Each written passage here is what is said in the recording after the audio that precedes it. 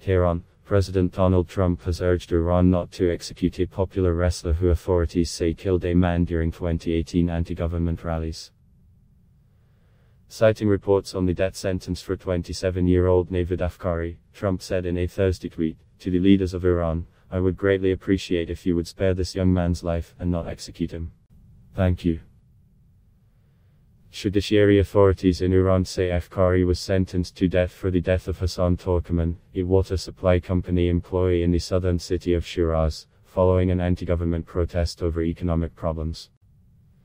A provincial court in Shiraz sentenced Afkari to death and his brothers Vahid Afkari and Habib Afkari to 54 and 27 years in prison, respectively.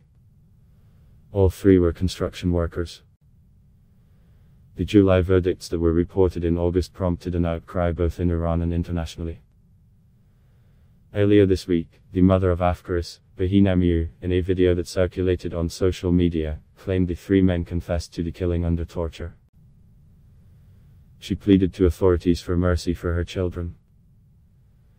The news website of Iran's judiciary, Mizan Online, on Monday denied Afkari had been tortured and called the Greco-Roman wrestler a murderer of an innocent citizen. Hassan Younesi, Afkari's lawyer, told the semi-official ILNA news agency that there is no evidence showing Afkari had a role in the victim's death and has requested a retrial. In 2018, protests broke out in several Iranian cities over the country's falling currency and economic woes that led to a violent encounter between police and protesters. It came after Trump in May that year pulled the out of the 2015 nuclear deal between Iran and major world powers and imposed sanctions on Iran that has sent the country's economy into free fall.